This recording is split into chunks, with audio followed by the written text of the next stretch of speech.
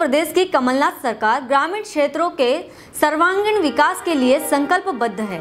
ग्रामीणों की आवश्यकताओं और आकांक्षाओं के अनुरूप विकास कार्यों को साकार स्वरूप प्रदान किया जा रहा है।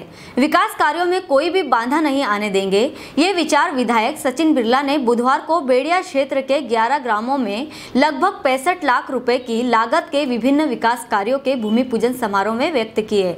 बिरला ने ग्राम रावेरखेड़ी बड़गांव, मिर्जापुर, नलवट, लछोरा, नंदगांव आली खुर्द और राहटकोट में सामुदायिक भवन निर्माण, ग्राम बागदा बुज़ुर्ग में गणगौर घाट निर्माण, बड़गांव में सीसी रोड निर्माण, टीन शेड, गणगौर घाट और ग्राम गलगांव में भूमि पूजन किया। वहीं ग्राम भूलगांव में औद्योगिकी विभाग द्वारा पात्र किसानों को कृषि यंत्र वितरित किए गए।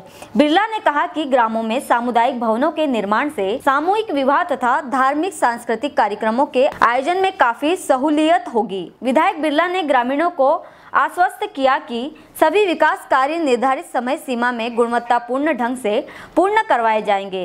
ग्रामीणों से चौपाल पर चर्चा की और ग्रामों की शिक्षा बिजली यात्री प्रतीक्षालय और सड़क के संबंधित समस्याओं के निदान और विकास के प्रति आश्वस्त किया। सनावत से प्रभु दोगाया की रिपोर्ट।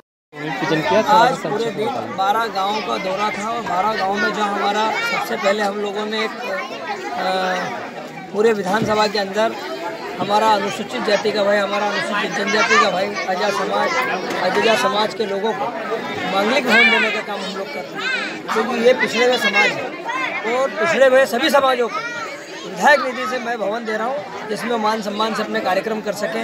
उनका कोई भी छोटे छोटे प्रोग्राम होते हैं छोटी छोटी खुशियाँ बांटने का अगर कहीं विषय है तो हमारे गरीब लोगों के साथ हमारे दलित भाई के साथ हमारे आदिवासी भाई के साथ और समाज का जो पिछड़ा तबका है वो अपनी छोटी छोटी खुशियाँ कहाँ बांटे इसके लिए हम लोगों ने विधायक निधि का पैसा सामुदायिक भवन देने में देने का निर्णय किया है और उसी के अंतर्गत मैं आज पूरे विधानसभा में 12 से 15 जगह 50-60 लाख रुपए के भूमि पूजन के कार्यक्रम के अवसर पर मैं उपस्थित हुआ ठीक ठीक।